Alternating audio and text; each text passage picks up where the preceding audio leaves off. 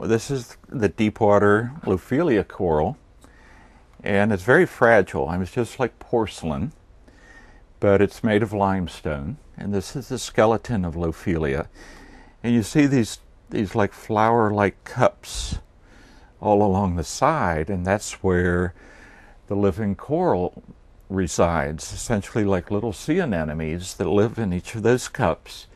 And the sea anemone has polyps and they use the tentacles to grab plankton out of the water column.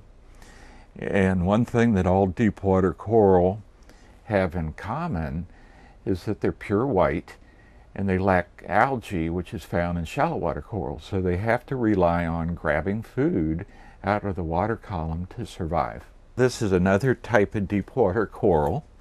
This is called Oculina varicosa and the common name is the ivory tree coral.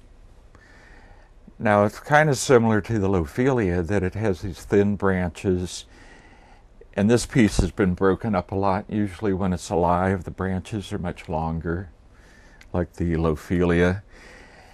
And it also has relatively large polyps for capturing plankton. A lot of shallow water corals have very small polyps because they have the algae within them. But this particular coral head I used in an experiment, and that's why it has these tie wraps on it, and it's kind of pinkish a little bit, is I used it in a, uh, a study to look at the growth rate to uh, try to find out how fast these deep water corals grew. And so using lockout diving, I dove out of the uh, Johnson Sea Link submersible actually in July of 1979.